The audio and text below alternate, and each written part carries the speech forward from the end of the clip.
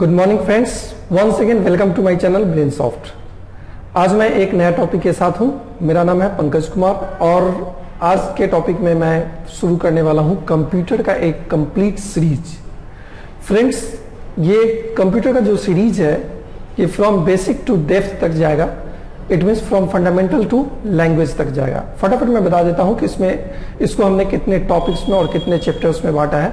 तो first chapter है हमारा, जो कि कंप्यूटर फंडामेंटल नेक्स्ट चैप्टर में हम पढ़ेंगे एम एस ऑफ़िस जिसके अंदर है M S word it means Microsoft word excel power point access then concept of internet and H T M L hypertext markup language friends इसके बाद हम लोग पढ़ेंगे concept of accounting system Tally E R P nine जो कि latest version है tally का.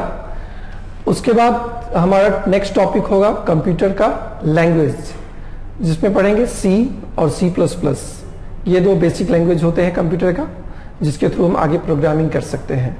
Next हमारा चैप्टर होगा, जो डाटा से रिलेटेड होगा SQL my SQL and Oracle तो इन सभी चीज़ों को हम बड़े डिटेल से पढ़ेंगे और आगे के चैप्टर में फिर पढ़ेंगे वेब डिज़ाइनिंग से रिलेटेड पीएचपी और ASP.NET तो friends I request you to subscribe this channel और इससे क्या होगा कि आप सभी टॉपिक को अगर एक बाई वन बाई वन जितने भी स्टेप्स वाइज मैं वीडियो डालता जा रहा हूँ और उसको आप देख लेते हैं तो कंप्यूटर को ऑपरेट करने में आपको कहीं से कोई परेशानी नहीं होगी। ठीक है फ्रेंड्स तो फ्रेंड्स शुरू करते हैं कंप्यूटर फंडामेंटल कंप्यूटर फंडामेंटल में सबसे पहले देखते हैं कंप्यूटर का डेफिनेशन कंप्यूटर का डेफिनेशन अलग अलग बुक में अलग अलग ढंग से दिया गया है। वैसे उसके वर्क के आधार पर आप खुद भी उसको डिफाइन कर सकते हैं। जैसे मैं डिफाइन कर रहा हूँ।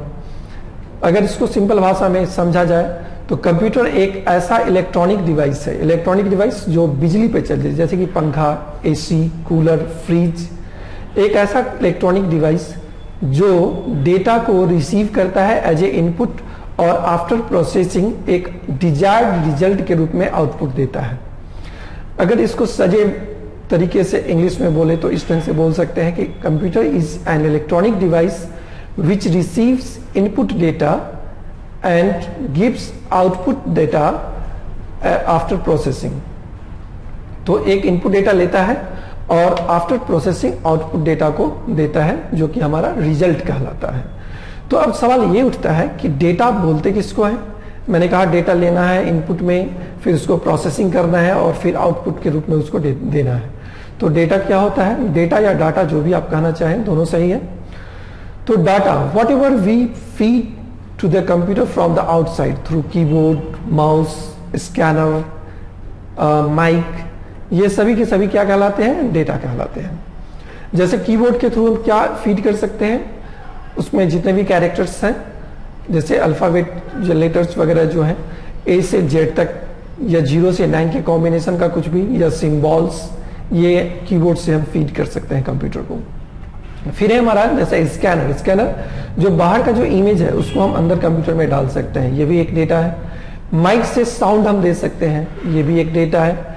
कैमरा से इमेज दे रहे हैं। ये भी एक डेटा है। तो जो कुछ भी हम डेटा कंप्यूटर को फ़ीड कर रहे हैं और कंप्यूटर आफ्टर प्रोसेसिंग जो मुझे रिज़ल्ट दे रहा है वो हमारा आउटपुट हो, होगा।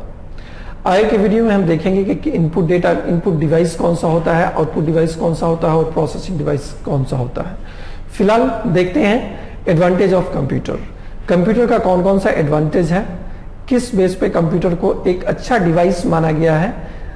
तो कंप्यूटर का एडवांटेज जो है फ़र्स्ट एडवांटेज है कंप्यूटर का हाई स्पीड कंप्यूटर को हाई स्पीड इलेक्ट्रॉनिक डिवाइस इसलिए कहा जाता है कि मिनियंस ऑफ़ कैलकुलेशन वो मिनी सेकेंड के अंदर कंप्लीट कर देता है। ये काफ़ी फास्ट होता है कंपेयर टू ह्यूमन बीइंग एक एक्यूरेसी कंप्यूटर 100 परसेंट एक्यूरेसी के साथ रिज़ल्ट आपको देता है क्योंकि एक सेट ऑफ़ प्रोग्राम होता है इसमें मिस्टेक्स होने के चांसेस बिल्कुल ही नहीं है जब तक कि यूज़र कोई मिस्टेक ना करे।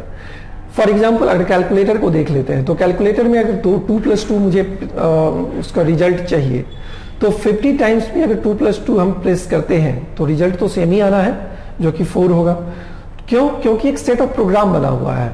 In the same way computer 100 percent accurate होता है, ये कभी इनकरेक्ट रिज़ल्ट नहीं देता है। अगर आप डेटा अच्छे से फ़ीड किए हैं तो।